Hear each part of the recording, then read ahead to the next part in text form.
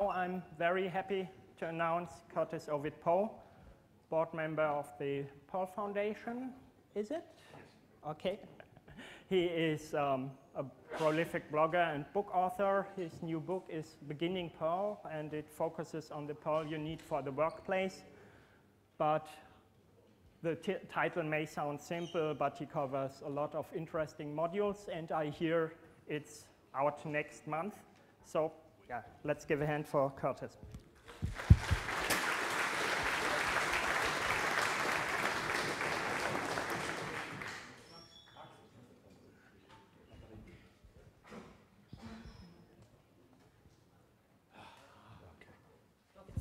Thank you, that works, great. Assume everyone can hear me in the back?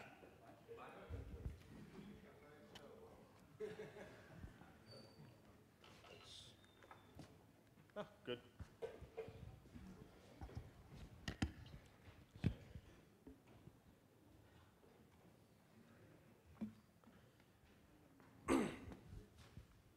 And it's not in the right mode.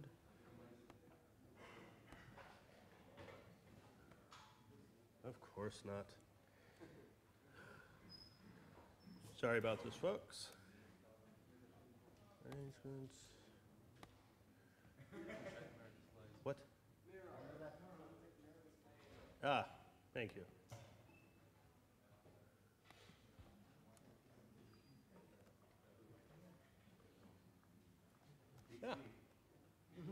Okay. So, thank you. First of all, I want to thank the organizers for YAPC::EU for inviting me here. Uh, very happy to be here, particularly since my father lives about half an hour away. Lovely coincidence. Um, anyway, this is my first conference since uh, I finished the book. I haven't had a chance to get out and do much for a while, so it's nice to see a lot of familiar faces here. Um, giving a keynote's different from a lot of other talks because really, you know, I don't have much competition except for jet lag and your hangovers. so I have to make something a little bit more general than I would for most of the regular talks that I do. So I started thinking about this and I started thinking, why are you folks here? And I don't mean Perl, you're going to be getting plenty of that, obviously, for these, this time period. But something uh, a little bit larger in scope. So this is a question I asked at Vienna a couple of years ago. Um, if you primarily write a lot of software for a living, hold up your hand. Okay, now keep your hands up. Keep your hands up, don't put them down. Only put them down if you do not write tests. Okay, only put your hands down if you do not write tests. Okay, you can put your hands down now. For those of you who are too hungover to look around the room, uh, I'm assuming a lot of you there, most of you kept your hands up, and this is different from what you would find for most of the technical community. Uh, most people are still not writing tests, and this talk is also not about testing. But what drives you to write tests? What, what's different about that? Why are you doing this than others? Because you want to excel. You want to be better than, so to speak. Um, you're going to be uh, future business leaders, you're going to be inventing disruptive business technologies, business practices, and different new business technologies that no one's ever seen before because you want to excel. And then you're going to go bankrupt. So let's try and avoid that. so I started studying, doing a lot of research on what makes a great company really great, what sets them apart from everyone else. And it turns out that's really hard to do. So many studies are recommending so many different ideas, some suggesting this, some suggesting that, some suggesting the other thing, and they're often very contradictory. And then I stumbled across this one, published in the Harvard Business Review a couple of years ago. And they studied over 20,000 companies, their performance for over 40 years, almost a quarter of a million years worth of data. And they discovered some very interesting things because they also started out by looking at other studies. And one of the most significant findings they found out was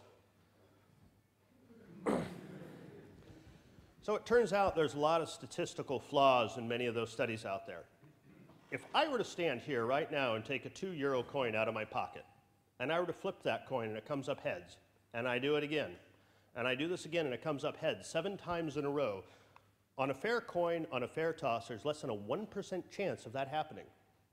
And you folks are going to start asking, is that a double-headed coin? Uh, is it weighted funny? Is it something about my shirt?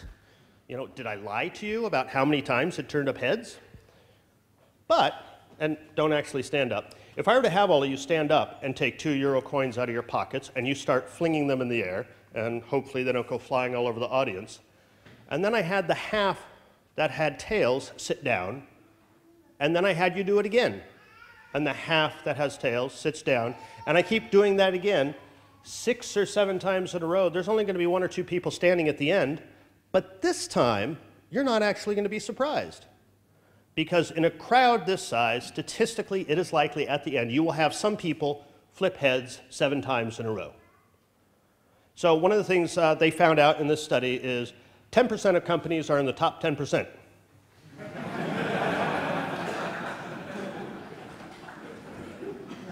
That's the way this thing works. It's a serious st statistical flaw if you simply say, oh, these are the top performing companies, therefore they're doing something right. No, sometimes your competition just sucks. My favorite flaw, which they uncovered, called the Texas sharpshooter problem. it's where you shoot first and then you announce your target. Not to pick on poor Mr. Cheney right there. Um, this is a particular problem which we had in these studies where they would look at a company, a particular time frame, and say, wow, they're doing really well. And look at these unique business practices. But before or after that time frame, they weren't necessarily doing really well. Um, so if you just pick a particular time frame, you also have to look in the bigger picture, and this is another problem you had in these studies. And in fact, out of 13 books covering 13 studies, when you looked at the apparent superstars following their best practices and you correlated, you corrected for the statistical errors, you actually didn't have much about these companies that you could say was really making them stand out. And that was very frustrating for me because what am I going to do if I'm going to stand up here and tell you how to actually build a better company when all the studies are awful? I'm sorry? Oh, I will. Don't worry. So I started thinking about this problem. If I can't rely on the studies, what can I fall back on? Chess has been extremely well studied for hundreds of years. It's an extremely well known problem space. And I used to play chess so often, an ex partner of mine referred to herself as a chess widow. And I played against a friend of mine named Gary. And Gary, our games were always very frustrating. Tactically, Gary destroyed me over and over again. He could see further ahead than I could. He would see moves I would never think of. We'd get into a complicated tactical position, he would tear me to shreds. And the games were so frustrating because Gary almost always lost. when he was manifestly a better player than I was when you look at the individual moves, but Gary didn't understand one thing about chess, which I can't say I'm great, but I did better than Gary. Between players of equal skill in chess, you know that a player with a bad strategy will tend to beat a player with no strategy. Keep that in mind, and we'll actually discuss what this means in just a moment. So, a player with a bad strategy will beat a player with no strategy, assuming they're roughly equal skill. And I'm going to assume you're roughly equal skill to your competition. So, actually, let's try and pick a good strategy instead. So, this is what it looks like for many types of companies. You have a bad plan, which is this is what we call waterfall. You're very familiar with this. You have to go through all the steps. You have to go through them one by one. There's no backtracking. It turns out this is an excellent design methodology for hardware. Hardware has a completely different set of constraints from software. You don't get to manufacture a bunch of CPU boards and say, oops, we screwed up our floating point calculation. Well, IBM does, but we don't. Oh, Intel. Sorry, thank you. I should have known better. so for these companies, the worst case scenario is you tend to have lots of meetings. Uh, you have really big projects because big projects are prestigious. Agile is amateur. We don't want to have amateur there. Um, and for them, process is everything. And their entire way of thinking is designed to make you conform. It is designed to turn a person into a process.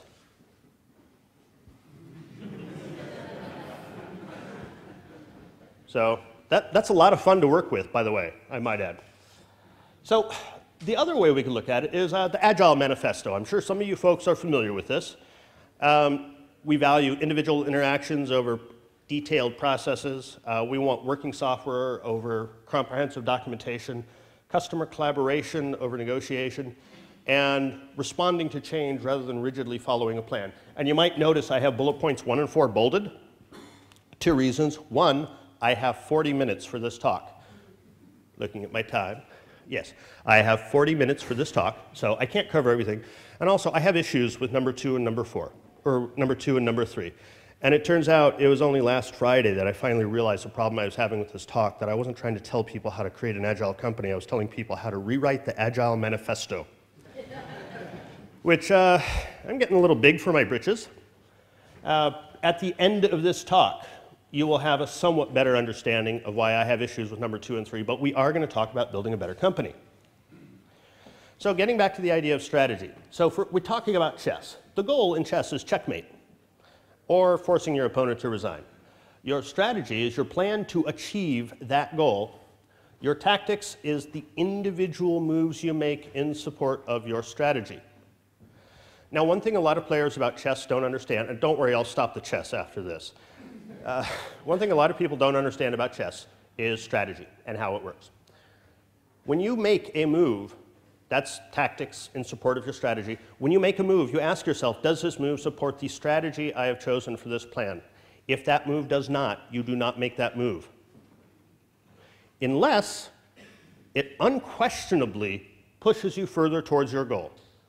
Okay, I can move my knight out and fork the king and the queen and take the queen for a knight. That's probably a good thing, even if it doesn't fit my overall strategy. But the plan is the individual moves you make have to fit your strategy to fit your goal. For a lot of companies, they have a goal and they just, okay, I'm going to sell more ads or I'm going to sell more whatever. And they don't really have a strategy to do that. They just keep making moves in that direction. So we're going to actually try and pick a strategy. But first of all, your goal is your mission statement. Mission statement of a company should be short, should be sweet, should be actionable. I love the one that Kawasaki used to have. They hung it in banners over their workplace floor. It said, beat Yamaha. That was a pretty darn good one. Everyone understood that. And everyone, from the top of your company down to the bottom, should know your mission statement. And they should know what it means. Even the janitor. If you think janitors aren't important, sit on the toilet and reach for the toilet paper and find out that it's not there. Everybody is important. Seriously, and I'm not kidding about that one. A lot of people think that I am, but I'm not.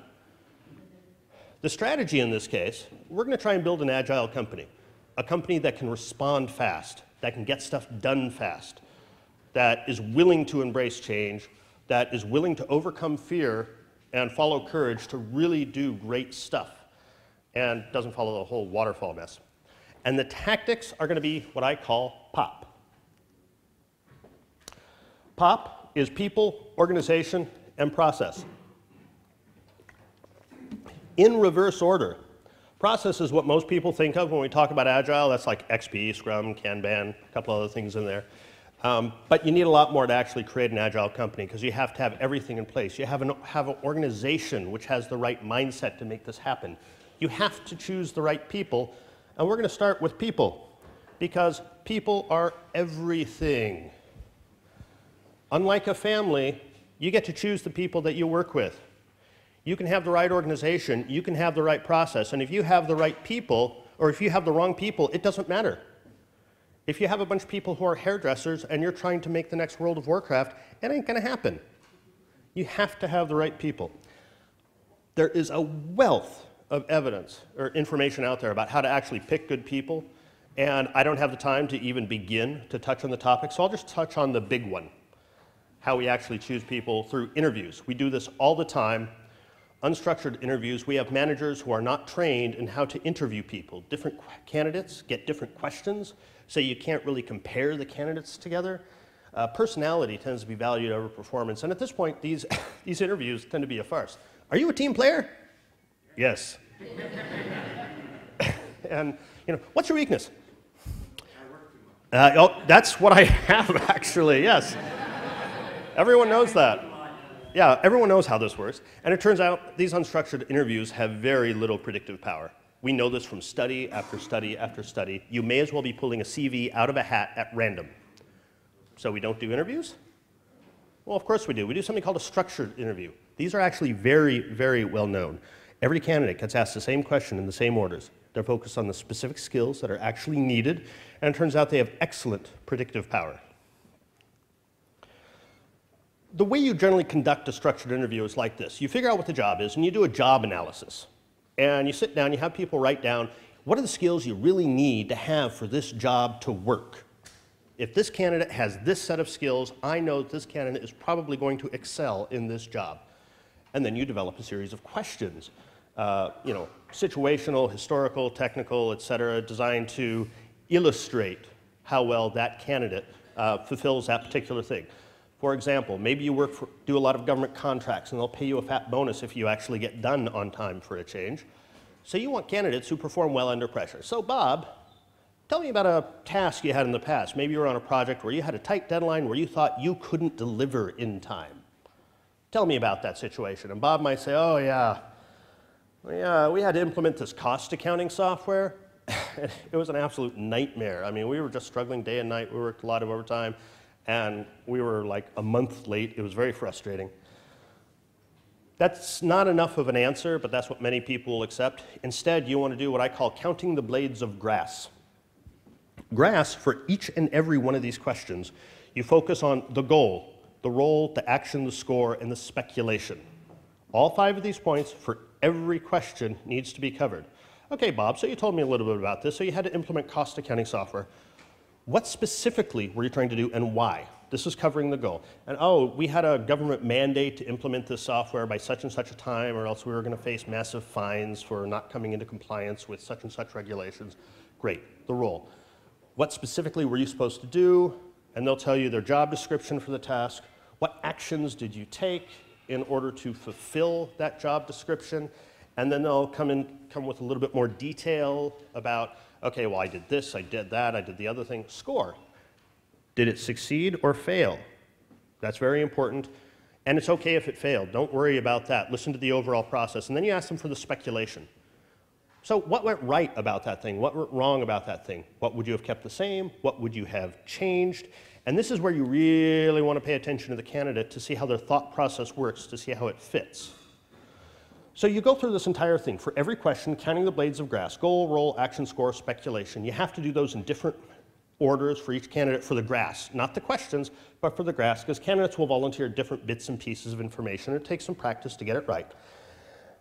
And it turns out there's some interesting stuff about this.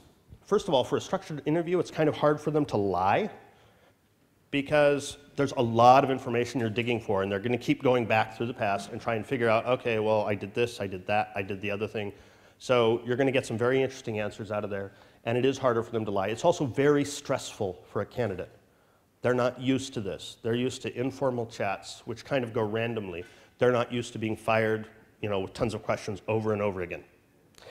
As soon as you're done through all of this. You then step out of the room with the other interviewers, hopefully you have more than one. You immediately sit down, you go through every question, you rank them on a scale of one to five. I thought he was a four, I thought he was a two on this topic, why? And you keep going back and forth until eventually you have a ranking for all of them. And for every candidate, you wind up with a ranking of an objective ranking of the skills that you want them to have in order for that job. And it turns out this is very, very effective in choosing good candidates. And it's so ironic when people are everything that we don't try and choose the right people when we know that there are better ways of choosing them. There's a lot more I could say on this topic, but this is one of the most important things for people, so I'm just going to go ahead and skip ahead to organization. So, an agile organization, what is it?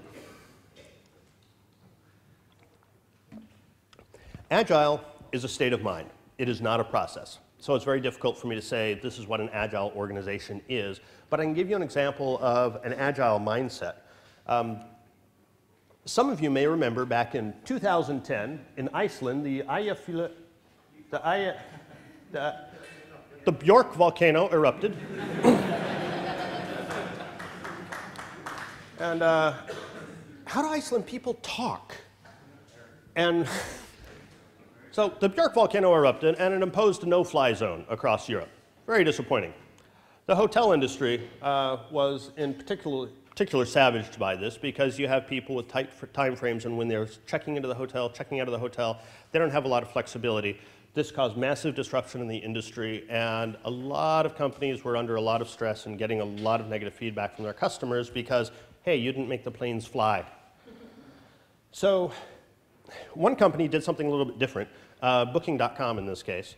Uh, I can't tell you everything they did because they actually made a lot of changes in a very short time frame. But one thing I am allowed to share is within a space of just a couple of days, I hired almost 100 call center staff speaking multiple languages, trained them in just tiny little slices of what they needed to do to answer the phones, sat them down in phone banks with experienced call center people behind them to make sure that when you called Booking.com, you got someone, a human, a human who was working on your problem, who could speak your language, and maybe they weren't an expert, but man, they were going to try and take care of you.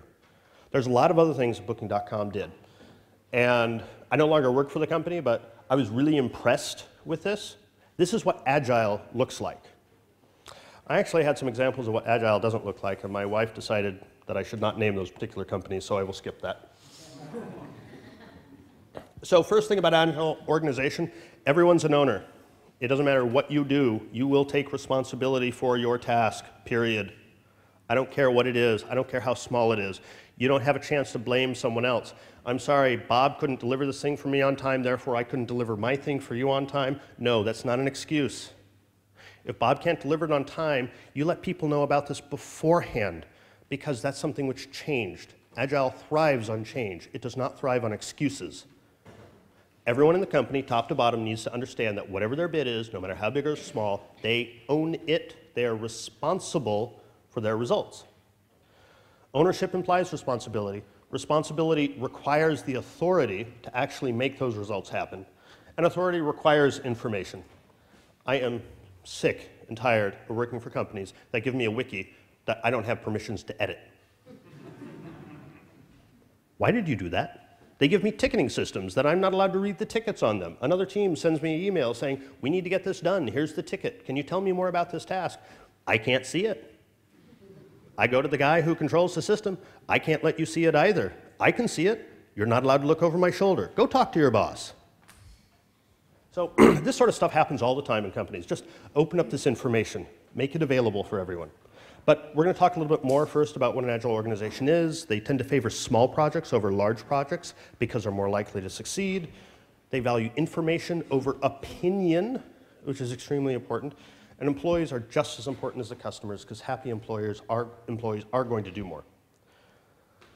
But we're going to talk a little bit more about ownership just for a moment. Did you hire the right people? Because you got to trust your employees. Again, it comes back to people over and over again, and people keep forgetting about this. They don't hire very well. If you didn't hire the right people, you are going to be hampering yourself building an agile organization. Take the time to learn how to hire them. Trust them to make those decisions. Yes, they are going to make mistakes. You can't stop them from making mistakes. They're going to learn from those mistakes. That's okay. They probably won't tear down your entire company. Decisions require information. Very important. Agile's actually if you look at it from an economic standpoint, information actually has some very significant costs attached to it. And one of the things Agile does is it lowers costs of business tremendously regarding information transmission. Pay attention to information and making it readily available to people. So information. There's a little bit more about information that I want to talk about, some very specific things, such as log everything. so logging is like digital archaeology. It'll tell you after the fact what happened when something went wrong, when a customer has a 500 error on your website that you can't replicate. It's great. If your logging is so detailed, you can replay the entire session start to end. Uh, most companies don't do logging that well. It's kind of an afterthought. Do pay attention to it. It's extremely important. It is an important part of an agile organization. While we're talking about everything, logging tells you what happened. Monitoring tells you what's happening right now. That's also an extremely important thing. It's an extremely important thing, particularly for something I'm going to be talking about in just a moment. Uh, monitoring every employee at every time should be able to glance up at a screen on the wall and say, oh, I see what's going on. Why is cluster three falling over? It's not that you have a dedicated team of sysadmins sitting around staring at these screens all the time. Everyone should be able to just glance around and see this information. Agile is about a constant flow of information for people to be able to make the decisions they need to make right now without waiting for a change control process. You also want to challenge everything. I love this example. Um, you may recall a thought experiment that Galileo had proposed a long time ago. Everyone knew that heavier objects fell faster than lighter objects. And he was talking about, well, let's find out. Drop a heavy ball and a light ball off the side of the Leaning Tower of Pisa, have them connected to strings, and see which string jerks first. Now, as far as I know, he didn't actually do this, but it was a brilliant way of challenging an assumption that people make.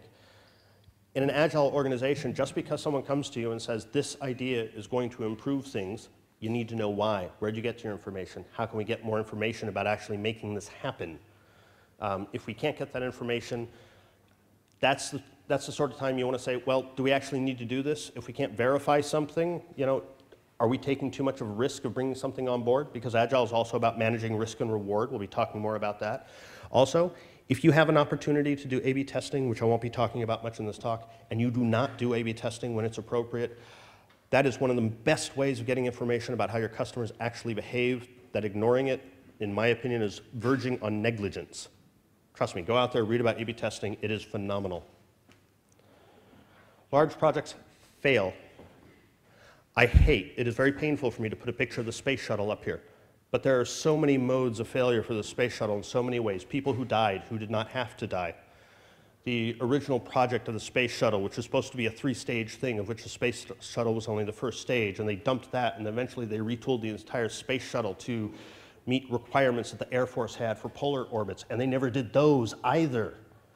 In so many ways, the space shuttle is a monumental failure, except for national pride, which is just a wee bit ironic, I think, in this case. And it's sad.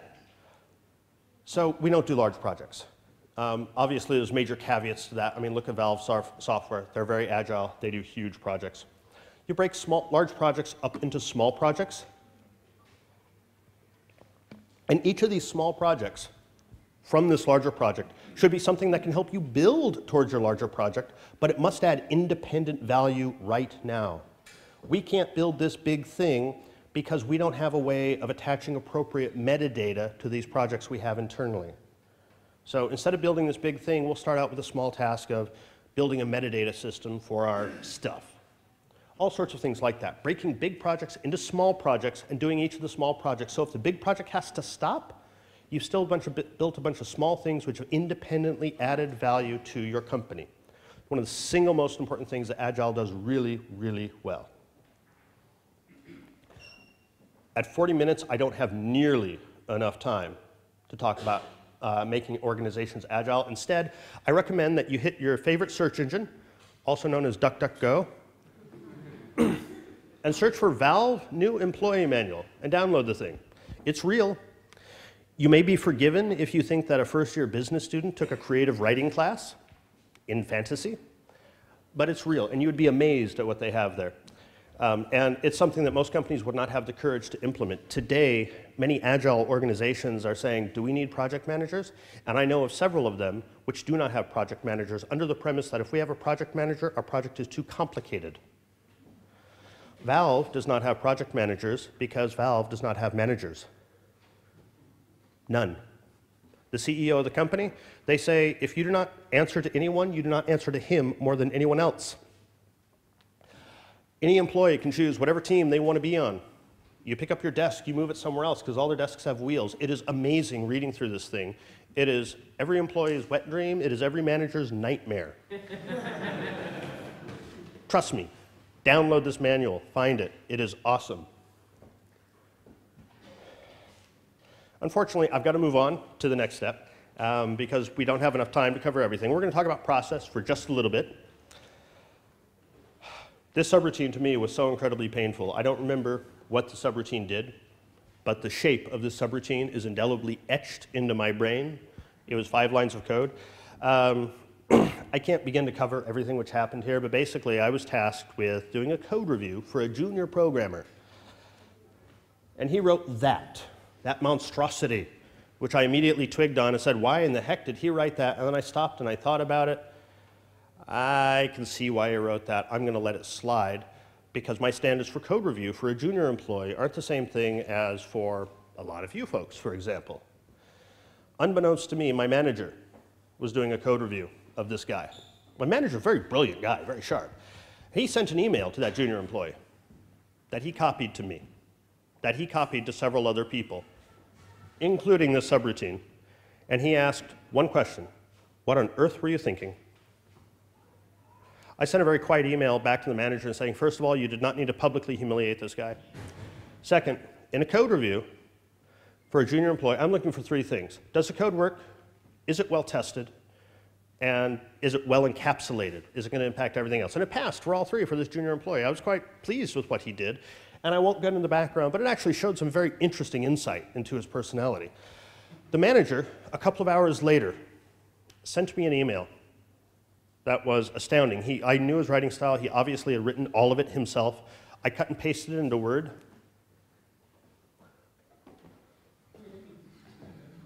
Yeah. Five pages of excruciating detail about what he is looking for for every piece of code from every single programmer.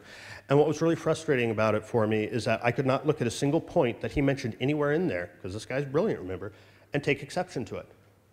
Not one individual point, even though obviously I had a lower standard for these, lower, for these newer employees. So this is the difference in mindset between someone who's really comfortable with a waterfall rigid model and someone who's really comfortable like me with an agile model. He was more concerned about risk, I'm more concerned about reward. And this, I'll give you another example of this type of mindset.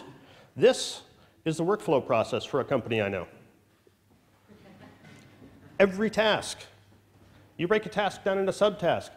Every task has to go through this workflow process. And constantly during meetings with this company, managers would say, I don't know that you're actually here and you're telling me you're in pre-prod testing, but you say that it's in development. Oh yeah, we haven't gotten there. We're just, we're actually in pre-prod testing, but we're just trying to get stuff done. And the management would invariably respond, no, I need to know every step of the way for each of these things on all of your tickets exactly where you are so that when I pull up the ticketing system, I can get a full outline of the project in my my blah, blah, blah. And the employees, oh, we just want to get jobs done. So this was a huge point of contention between management and the developers. So let's look at an, an idea of developer workflow.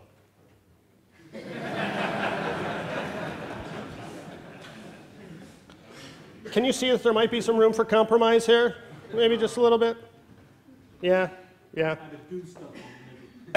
oh, yes, yes, do stuff. Shh. so, an agile workflow is about compromise. Not all tasks are going to fit the same process. Um, processes are terribly rigid, and employees are very good about ignoring the process and just getting their jobs done anyway. So, for an agile environment, how do we find a way of following the employees and not just the process? Because we want to focus on tasks, not processes. How do we get stuff done rather than excruciatingly monitoring it in micromanagement detail every step of the way? And by the way, testing, logging, and monitoring are a key component of all of this because you really need to know much, in much more detail than I think for a lot of other companies I worked for, what's going on every step of the way. The upside of this is you can get stuff done faster. The downside of this is you will make more mistakes, in my opinion. But there'll be smaller mistakes and you can recover from them faster if you have all the information you need. So I want to keep reinforcing that bit about information. As an example of this, we can talk about continuous integration, which is really old school when you stop to think about it. Instead, I like something that we talked about. Uh, you might hear about it from time to time. We had a talk on this yesterday about continuous deployment. And this is really interesting that, um, so you work on your code, and you get done with your code, and yeah, everything looks fine. Okay, I'm going to merge it into production branch. It's deployed right then.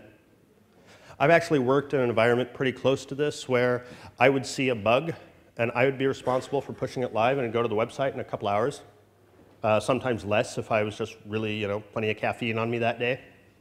And it is amazing what you can get done by saying, as soon as you're done with the task, deploy, done with the task, deploy, done with the task, deploy, done with the task, deploy, over and over and over again. And it has several interesting benefits. First of all, you're doing much smaller chunks of work. You don't take down the entire site with this generally. And if something goes wrong, it's easier to roll back and do a 10-line code review instead of that 10,000-line code review because you've done your you know, one month iteration code release. It has a huge amount of benefits, but it does have some significant risks, and you need to understand what those risks are uh, to minimize them. You need to understand what the rewards are so you can maximize them, and it does require courage over fear because you're saying, I'm going to deploy live the second I'm done writing the code. It really is kind of a scary environment, but it is kind of the epitome of agile in many ways. Um, and it's something that I really recommend a lot of you folks look for. Again, search engine, continuous deployment. Many companies are actually doing this, and it works. And it's great. I remember uh, one company in the Netherlands was advertising a job saying, see your code go live in just weeks. And I couldn't stop laughing because I was used to my code going live in hours. But you also have to have testing along with this. Frankly, this is NASA testing a new type of hybrid rocket they were working on. I want to know that that rocket is not going to blow up before you strap it on my ass. I don't know, just call me crazy, but really, I, I want to have testing beforehand. I want to make sure that there's a minimum amount of safety. And with testing, then you have the full scale integration of what's happening with your code. Testing to find out what happens before it's released, monitoring to find out what's happening during release, logging to find out what happened after release. At this point, once you get all of this into place, and it can be tough to do, that's a great place to start saying, now I can really, really get out in the more wild, agile areas because at any time I can find out what's actually going on with my stuff and I can recover faster than a lot of other companies. So, agile project management. Are we talking about XP, Scrum, Kanban, Crystal, something else? One thing which is really interesting about them, every single one of them describes themselves not as an algorithm, they are a heuristic. It's not a set of precise steps necessary in order to get stuff done, but a guideline. And they say, you need to readjust this to fit your organization and your culture. And as soon as you do, someone's going to come along and say, oh, that's not agile. You didn't do what they said. You're not pair programming, therefore you're not agile. Out of curiosity, how many folks in this room are pair programming? Yeah, that's what I thought. Okay. I see like two hands up there. Um, and I'll bet you're still getting stuff done, even though you're not agile. so don't overly worry about what methodology you take. Just pick a methodology, invent a methodology, understand what the trade-offs are, what the strengths and what the rewards are. And that is going to get us back to the idea of how to implement, actually put all of this together to create an agile company, POP. People, organization, and process. Becoming agile is very, very difficult to do. It actually takes a lot of work. It's a big project. It's an agile project, of course. What this actually means is it's too big of a project for you to do, so you shouldn't do it. You should break it down into smaller projects. Each of those smaller agile tasks that you want to convert your company into should independently add some sort of value. You do them one step at a time with the highest value tasks first. So hiring, that's one of the frustrating things. It's actually kind of easy once you understand some of the hiring processes which are out there, some of the ways you can do a better job of picking employees. But it's also hard because you may not be hiring enough. You may have a bunch of long-term employees, and I believe Donald Rumsfeld, a famous programmer, said you go to work with the employees you have, not the employees you want. So you might be able to get away with that, but it's a great place to start, but it takes a while. So you're not going to get results from that right away. So everything else, talk to your employees. Find out what's really irritating them. And if you talk to enough employees, you're going to find common themes of irritation with all of those employees. and start picking them apart. Which ones are easy to solve? Which ones are hard to solve? Analyze the risk-reward ratio of all of those. How can you minimize the risk? How can you maximize the reward? And remember the Pareto rule. 80% of your results tend to stem from 20% of your actions. Waterfall says we're going to do 100% of those actions. Agile says, well, let's look at this first 20% first. You actually get great results from that, and it's worth taking the risk for. Once you go Agile, never forget your goal. Remember, Agile is just a strategy to achieve your goal. Always question your processes, the tasks you take to implement your strategy of being Agile. And remember, it's a mindset. It is not a process. So coming back to the Agile Manifesto, which I alluded to near the beginning of the talk, uh, don't worry, folks, I'm almost done. So people over process and change over plans, I kind of buy into those, those points one and four, but I have issues with two and three. Software over documentation is a big one for me. First of all, anyone know the origins of Kanban? It's uh, from Toyota easier way of manufacturing cars, implementing just-in-time inventory. That's not software, but it's very agile. So saying software in the Agile Manifesto is kind of trying to pick, pick out a point which is a little bit too detail oriented for my mind. And software over comprehensive documentation. What if you're writing space shuttle software? Do you really want people to wing it? What if you're writing software which is uh, medical diagnostic software or radiation for killing someone's cancer? Do you really want to not have tight predetermined specs for that? You might have ethical or legal reasons why you might want to make sure that you have comprehensive documentation up front because you don't want to take that chance. Now, admittedly, that's fuzzy, and I know what they mean by documentation, so people can argue with that. But the software point, software is too much of a detail. So I actually have issues with number two. Customer collaboration over negotiation, I like this. So if you look in the dictionary under collaborate, it's uh, to work with one another. Uh, negotiate is to deal or bargain with one another. That's an awfully fuzzy line between negotiation and collaboration.